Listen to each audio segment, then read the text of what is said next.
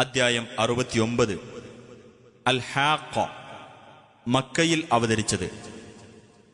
ഹാക്ക എന്ന പദത്തിന് യഥാർത്ഥ സംഭവം എന്നാണ് അർത്ഥം. ആദ്യ സൂക്തങ്ങളിൽ യഥാർത്ഥ സംഭവത്തെപ്പറ്റി പരാമർശിച്ചിട്ടുള്ളതുകൊണ്ടാണ് ഈ അദ്ധ്യായത്തിന് ഇപ്രകാരം പേർ നൽകപ്പെട്ടത്. ആ യഥാർത്ഥ സംഭവം. എന്താണ് ആ യഥാർത്ഥ സംഭവം? ആ യഥാർത്ഥ സംഭവം എന്താണെന്ന് നിനക്കെന്തറിയാം? സമൂത് സമുദായവും ആദ് സമുദായവും ആ ഭയങ്കര സംഭവത്തെ നിഷേധിച്ചു കളഞ്ഞു.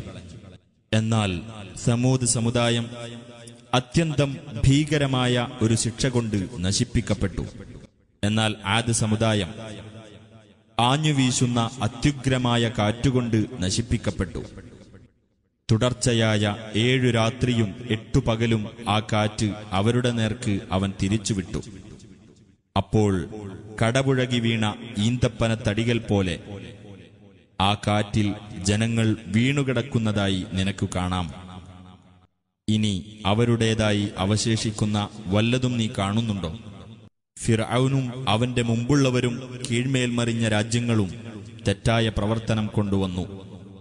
അവർ അവരുടെ രക്ഷിതാവിന്റെ ദൂതനെ ധിക്കരിക്കുകയും അപ്പോൾ അവൻ അവരെ ശക്തിയേറിയ ഒരു പിടുത്തം പിടിക്കുകയും ചെയ്തു. തീർച്ചയായും നാം വെള്ളം അതിരുകവിഞ്ഞ സമയത്ത് നിങ്ങളെ കപ്പലിൽ കയറ്റി രക്ഷിക്കുകയുണ്ടായി. നിങ്ങൾക്ക് നാം അതൊരു സ്മരണയാക്കുവാനും ശ്രദ്ധിച്ചു മനസ്സിലാക്കുന്ന കാതുകൾ അത് ശ്രദ്ധിച്ചു മനസ്സിലാക്കുവാനും വേണ്ടി. കാഹളത്തിൽ ഒരു ഊത്ത് ഊതപ്പെട്ടാൽ ഭൂമിയും പർവതങ്ങളും പൊക്കിയെടുക്കപ്പെടുകയും എന്നിട്ട് അവ രണ്ടും ഒരു ഇടിച്ചു തകർക്കലിന് വിധേയമാക്കപ്പെടുകയും ചെയ്താൽ അന്നേ ദിവസം ആ സംഭവം സംഭവിക്കുകയായി. ആകാശം പൊട്ടിപ്പിളരുകയും ചെയ്യും. അന്ന് അത് ദുർബലമായിരിക്കും. മലക്കുകൾ അതിന്റെ നാനാഭാഗങ്ങളിലുമുണ്ടായിരിക്കും നിന്റെ രക്ഷിതാവിന്റെ സിംഹാസനത്തെ അവരുടെ മീതെ അന്നു എട്ട് കൂട്ടർ വഹിക്കുന്നതാണ്. അന്നേ ദിവസം നിങ്ങൾ പ്രദർശിപ്പിക്കപ്പെടുന്നതാണ്. യാതൊരു മറഞ്ഞ കാര്യവും നിങ്ങളിൽ നിന്ന് മറഞ്ഞു പോകുന്നതല്ല. എന്നാൽ വലതുകൈയിൽ തന്റെ രേഖ നൽകപ്പെട്ടവൻ പറയും ഇതാ എന്റെ ഗ്രന്ഥം വായിച്ചു നോക്കൂ. തീർച്ചയായും ഞാൻ വിചാരിച്ചിരുന്നു. ഞാൻ എന്റെ വിചാരണയെ നേരിടേണ്ടി വരുമെന്ന്. അതിനാൽ അവൻ തൃപ്തികരമായ ജീവിതത്തിലാകുന്നു. ഉന്നതമായ സ്വർഗത്തിൽ അവയിലെ പഴങ്ങൾ അടുത്തുവരുന്നവയാകുന്നു. കഴിഞ്ഞുപോയ ദിവസങ്ങളിൽ നിങ്ങൾ മുൻകൂട്ടി ചെയ്തതിന്റെ ഫലമായി നിങ്ങൾ ആനന്ദത്തോടെ തിന്നുകയും കുടിക്കുകയും ചെയ്തു കൊള്ളുക എന്ന് അവരോട് പറയപ്പെടും. എന്നാൽ ഇടതുകൈയിൽ ഗ്രന്ഥം നൽകപ്പെട്ടവനാകട്ടെ ഇപ്രകാരം പറയുന്നതാണ് ഹാ എന്റെ ഗ്രന്ഥം എനിക്ക് നൽകപ്പെടാതിരുന്നെങ്കിൽ എന്റെ വിചാരണ എന്താണെന്ന് ഞാൻ അറിയാതിരുന്നെങ്കിൽ എത്ര നന്നായിരുന്നു. മരണം എല്ലാം അവസാനിപ്പിക്കുന്നതായിരുന്നെങ്കിൽ എത്ര നന്നായിരുന്നു. എന്റെ ധനം എനിക്ക് പ്രയോജനപ്പെട്ടില്ല. എന്റെ അധികാരം എന്നിൽ നിന്ന് നഷ്ടപ്പെട്ടുപോയി.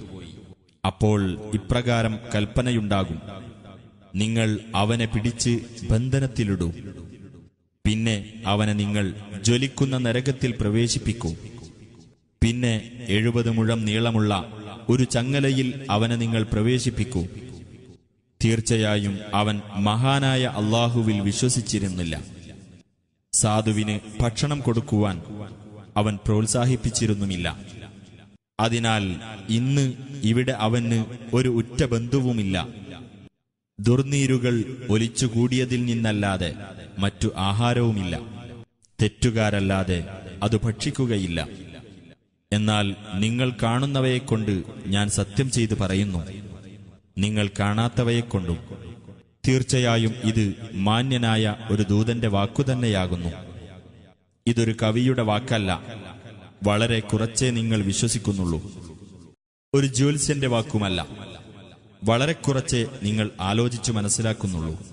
ഇത് ലോകരക്ഷിതാവിങ്കിൽ നിന്ന് അവതരിപ്പിക്കപ്പെട്ടതാകുന്നു. നമ്മുടെ പേരിൽ പ്രവാചകൻ വല്ല വാക്കും കെട്ടിച്ചമച്ചു പറഞ്ഞിരുന്നെങ്കിൽ അദ്ദേഹത്തെ നാം വലതുകൈകൊണ്ട് പിടികൂടുകയും എന്നിട്ട് അദ്ദേഹത്തിന്റെ ജീവനാഠി നാം മുറിച്ചു കളയുകയും ചെയ്യുമായിരുന്നു.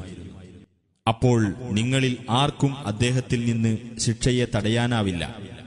തീർച്ചയായും ഈ ഖുർആൻ ഭയഭക്തിയുള്ളവർക്ക് ഒരു ഉത്ബോധനമാകുന്നു. തീർച്ചയായും നിങ്ങളുടെ കൂട്ടത്തിൽ ഇതിനെ നിഷേധിച്ചു തള്ളുന്നവരുണ്ടെന്ന് നമുക്കറിയാം. തീർച്ചയായും ഇത് സത്യനിഷേധികൾക്ക് ഖേദത്തിന് കാരണവുമാകുന്നു. തീർച്ചയായും ഇത് ദൃഢമായ യാഥാർത്ഥ്യമാകുന്നു. അതിനാൽ നീ നിന്റെ മഹാനായ രക്ഷിതാവിന്റെ നാമത്തെ പ്രകീർത്തിക്കുക.